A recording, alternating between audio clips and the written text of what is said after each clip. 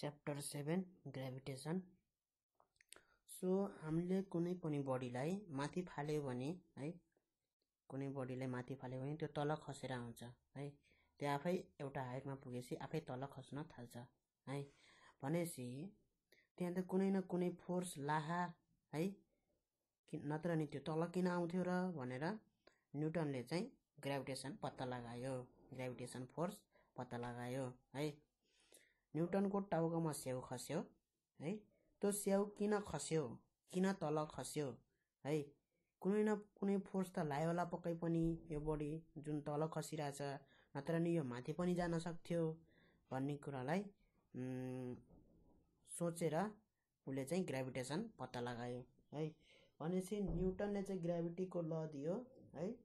Every particle of the matter in the universe attracts every other particle with a force that is directly proportional to the product of masses of the particle and inversely proportional to the square of the distance between them भनेर ग्राभिटेसनको quantitative definition दियो है gravitational force छ भनेर त हामीलाई इक्जाम्पलहरूबाट थाहा भयो है र उसले चाहिँ त्यहाँबाट एउटा लभ के बनाइदियो भन्दाखेरि स्पेसमा अथवा युनिभर्समा भएको सबै बडीहरू छन्। त्यो बडीले एकअर्कालाई के गर्छ? तानिरहेको हुन्छ है। एकअर्कालाई एट्र्याक्ट गरेको हुन्छ है। त्यो एट्र्याक्सन चाहिँ के को कारणले हो भन्दाखेरि मासको कारणले हो है। यसको मास सपोज एम वान छ र यसको मास एम टू छ भने यो मासको कारणले चाहिँ एकअर्कालाई एट्र्याक्ट गर्छ है। अब यो जति नजिक हुन्छ त्यसको ग्राभिटेसन फोर्स त्यति नै बढी हुन्छ भनेर भनेछ। है भनेपछि यिन दुइटाको डिस्टेन्स चाहिँ सेन्टरको डिस्टेन्स बिट्विन दियर सेन्टर्स है। यदि सपोज डी छ भने यिन दुइटामा फोर्स लाग्ने ग्राभिटेसनल फोर्स भनेको F equal to G M one M two upon D square है। यो हुन्छ भनेर न्युटनले चाहिँ ल दिएको छ है। युनिभर्समा कुनै पनि body having mass attract each other है? र त्यो एट्र्याक्सन कति छ त्यो फोर्सलाई कति नाप्ने भनेर क्वान्टिटेटिभ उ गर्नलाई मेजर गर्नलाई हामीले फोर्स चाहिँ उनीहरूको माससित डाइरेक्टली प्रोपोर्सनल छ। M one and M two है? फोर्स चाहिँ के गर्छ? जति धेरै मास छ दुईवटा बडीको त्यति नै बढी उनीहरू एकअर्कालाई एट्र्याक्ट गर्छ भनेर भन्छ है? र force is inversely proportional to distance between their centre है? डिस्टेन्स जति टाढा छ त्यति कम फोर्स हुन्छ है? जति नजिक छ त्यति बढी फोर्स हुन्छ उनीहरू बिच भनेर न्युटनले चाहिँ ल दिएको छ है? भनेपछि एम वान र एम टूमा चाहिँ अब force is directly proportional to m1 m2 and inversely proportional to distance between their center. को स्क्वायर है भनेपछि हामीले के लेख्न सकिन्छ force is equal to G M one M two upon D square यो जी भनेको के हो? युनिभर्सल ग्राभिटेसनल कन्सटेन्ट हो है यो एउटा कन्सटेन्ट हो। र यसको चाहिँ कति हुन्छ? जी equal to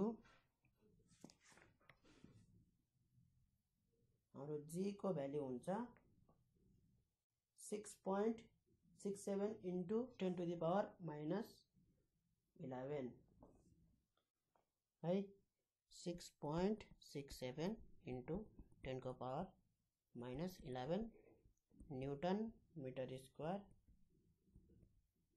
kg power minus two. है यसको युनिट कसरी आयो?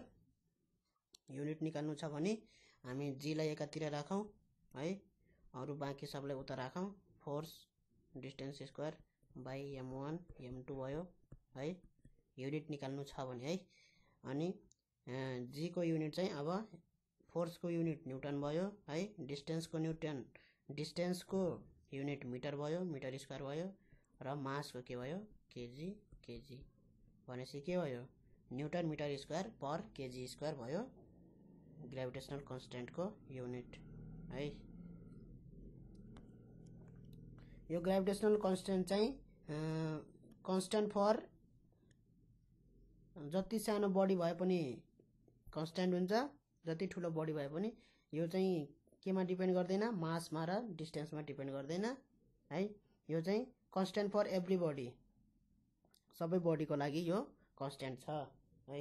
ग्राभिटेसनल कन्सटेन्ट अब चाहिँ हामी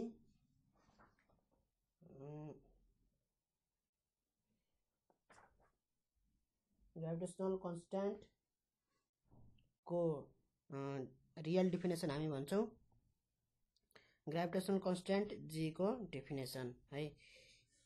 It can be defined as force acting on the two bodies है force acting on the two bodies of mass one one kg है दुईवटा बडी छ मास वान केजी र one kg and they are separated by a distance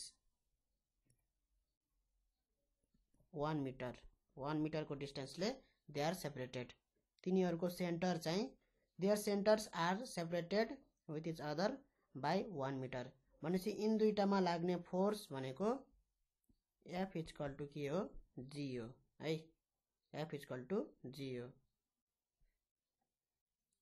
अथवा F equal to G M one M two upon distance square यो गर्दा पनि G mass M one भनेको one है? एम टू भनेको one र distance भनेको one metre square equal to G आयो है?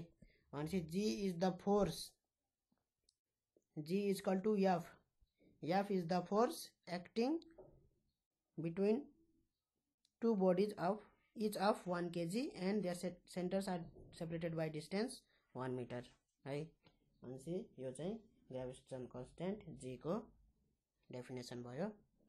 अब हामी gravitation and principle of superposition gravitation and principle of superposition यो हामी हेर्छौँ। Gravitation and principle of superposition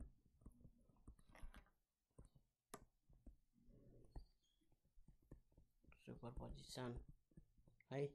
भनेपछि यसले के भन्छ भन्दाखेरि it states that for a given group of particles the net resultant gravitational force on any one of them is the vector sum of the individual forces due to all other masses भनेर भनेपछि है। भनेपछि धेरैवटा particle छन् suppose यहाँ एउटा body छ अर्को बडी यहाँ छ अर्को बडी यहाँ छ। भनेपछि यो बडीमा चाहिँ यसले पनि यो मासले पनि एट्र्याक्ट गर्छ है? यो मासले सपोज यसको मास एम वान हो यसको मास एम टू हो यसको मास एम थ्री हो। यो एम वान मास भएको बडीलाई एम टूले पनि एट्र्याक्ट गर्छ र यता एम थ्रीले पनि एट्र्याक्ट गर्छ है? भनेपछि यसको ग्राभिटेसनल फोर्स होइन? नेट रिजल्टेन्ट निकाल्नु छ भने यो एउटा ग्राभिटेसनल फोर्स भयो एम टूले एट्र्याक्ट गरेको है? ग्राभिटेसनल फोर्स एफ वान र यो चाहिँ एफ टू भनेपछि यसको नेट रिजल्टेन्ट ग्राभिटेसनल फोर्स भनेको resultant of F one and F two है? यो दुइटा फोर्सको रिजल्टेन्ट हो भनेर भन्छ है? भनेपछि रिजल्टेन्ट नेट रिजल्टेन्ट फोर्स कति लाहा? यो एम वान बडीमा भनेर निकाल्नु छ भने हामी vector sum of F one and F two यो दुइटा फोर्सलाई हामी भ्याक्टर सम गर्न सक्छौँ है? F equal to F one and F one plus F two sum of the vector sum of vector sum भनेको यो भ्याक्टर यिनीहरूको रिजल्टेन्ट है? अल्जेब्रिक सम र भ्याक्टर सममा फरक हुन्छ। भ्याक्टर क्वान्टिटीलाई भ्याक्टर सम भनेर गर्नुपर्छ। F equal to F one plus F two है? भनेपछि सपोज अब त्यहाँ let's consider a system containing N particles each of mass M one M two गर्दा गर्दै एमएनसम्म है? एमएनसम्म चाहिँ पार्टिकल छ।